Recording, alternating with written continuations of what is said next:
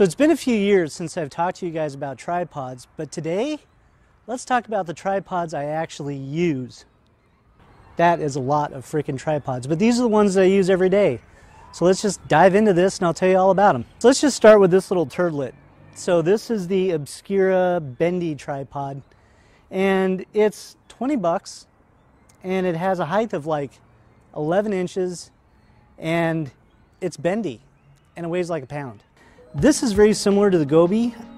I know a lot of you guys like the Joby. I don't. I don't like the way that it feels. This I can carry around with my GoPro and just kind of bend it around. It's very comfortable because of the silicone coating that's on the legs. That's what I really like about it. But the other thing too is just like the Joby is you can mount this thing pretty much anywhere. If you want to bend this to a wall, you know, you pretty much can and then set your, your camera up like so.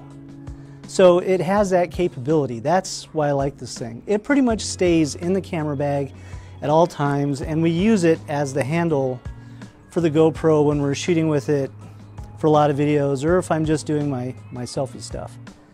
It's just comfortable and it's light and it doesn't really hold much except for more than a GoPro, but what do you expect for 20 bucks? The next tripod, and this is a ProMaster monopod, and these sell for about 129 bucks, and they're in the neighborhood of about two pounds, and it's, it's good for travel, and they have an excellent height, and it actually goes a little bit higher than you see here. Uh, I primarily use these for video. Right now it's fully extended at 68 inches, so if I slide this all the way down here, we can come all the way down to here. And it has a quick release clamp if you want to just take the foot off and have it as a rubber bumper if you don't want this little tripod on the bottom.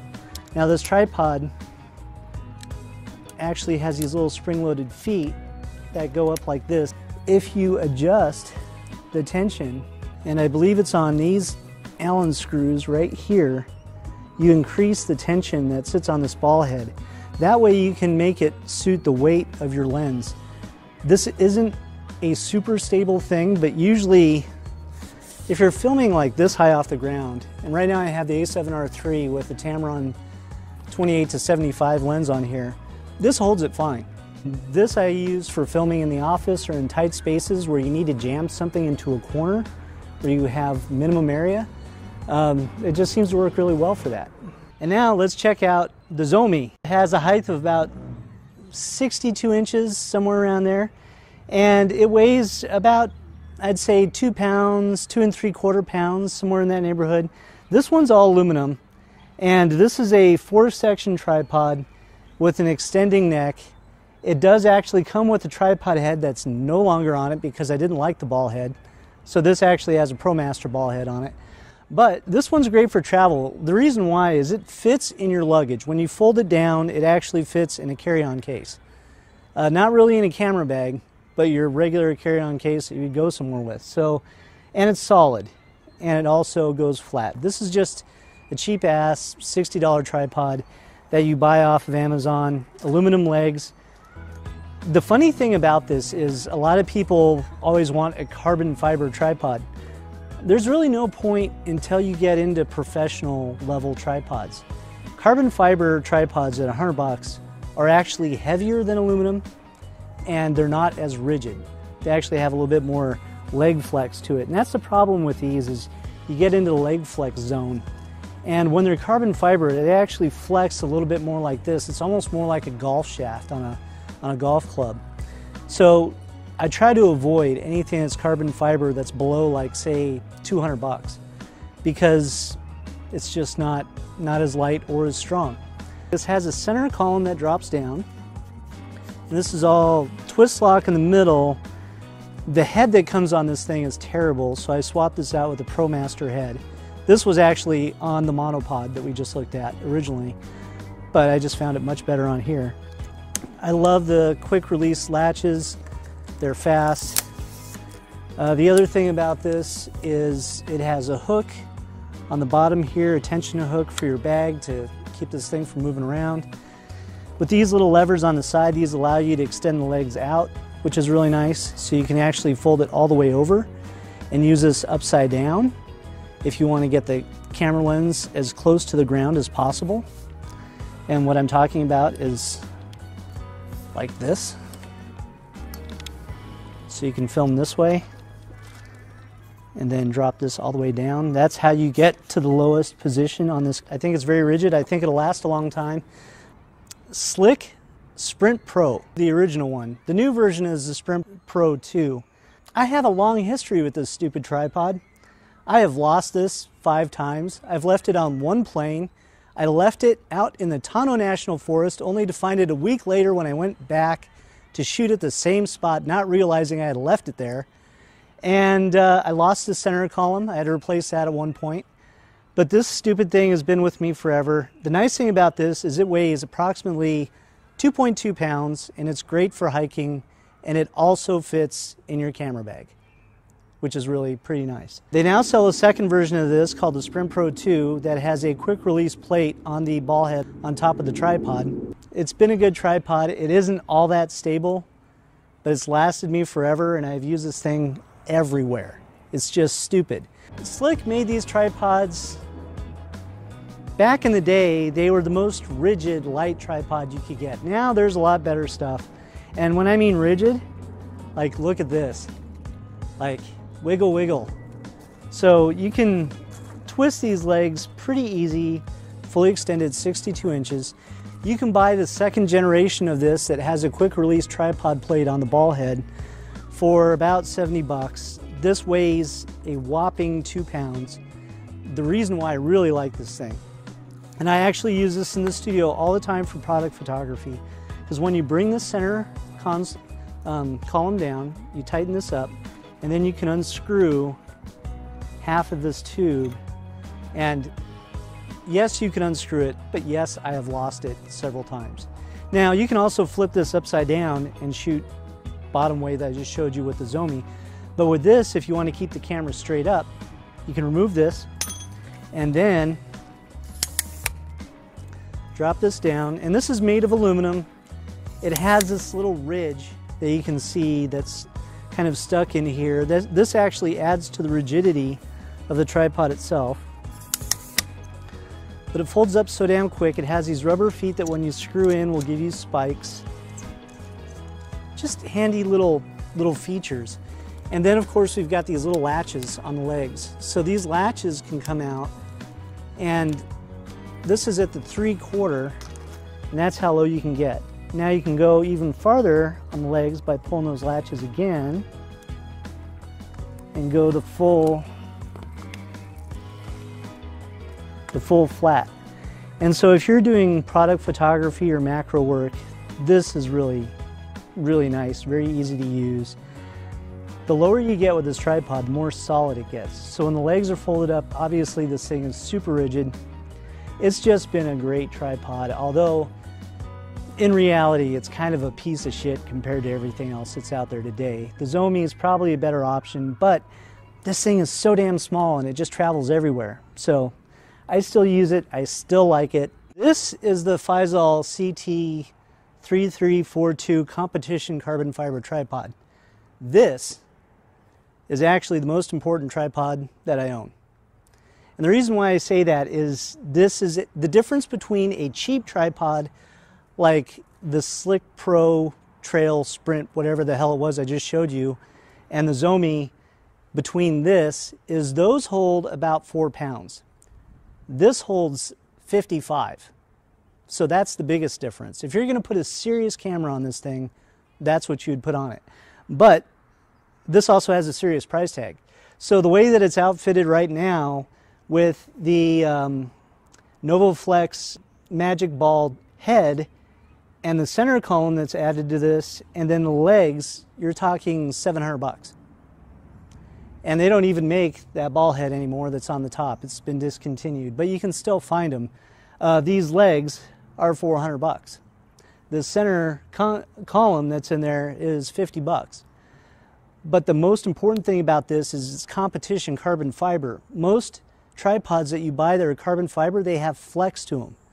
So they don't exactly have either, they're either not super sturdy or they're heavier than aluminum. This thing is ultralight coming in at, in this configuration without the camera, a blistering three pounds. Uh, but it'll also hold large format cameras like 8x10s and 11x14s. I've had this for 10 years. I bought it immediately when it first came out. And at the time, I was shooting large format film and I was looking for a tripod that could actually hold everything. And this thing holds some serious freaking weight. That's the difference between this tripod and something like this. Is this, this holds a blistering four and a half pounds. So you have to think about your lens, the camera body, how much that weighs. You put a big Canon L lens on it, you're maxing out the weight of this tripod. So yeah, this, it's, it's decent for regular shit, but it's not as cool as this thing. This thing holds 55 pounds by itself, but these are extremely expensive. So this comes with just the legs, and the legs are tournament carbon fiber. Flex wise, there's nothing. This thing, weight wise, it weighs nothing. This is just kind of a cool head. It's not the most practical thing on the planet. This is made by Novoflex. They don't make these anymore. They're elegantly designed, which is why I like it, but they're not the most practical head. What they are is the lightest ball head that you can possibly put on a camera or on a tripod. Now this thing has a center column that comes all the way out. So again, you can do the same thing where if you need to get low, you just turn the camera upside down, lock it in, and then you can drop it all the way down. Uh, these types of tripods do require maintenance and it's really good to learn how to do it yourself. Uh, the owner of Feisol told me that these have a lifetime maintenance on them. So if the legs get sticky when they're sliding in because it's a twist lock, there's nylon compression sleeves in here that just need to be cleaned out. So you need to learn how to take it apart so you can clean it out. And they get gooked up because it's nylon. The legs, of course, fold all the way out and, of course, backwards. So you've got that full range of movement. So the folded height of the tripod itself is about 25 and a half inches. With the ball head, it's 28 and a half. So really portable, insanely light. But I've had this thing for 10 years and it's used almost every day. And it's still in mint condition and it doesn't look like it has hardly any mileage on it because it's made that well. And that's the difference between everything else and this is the quality of construction.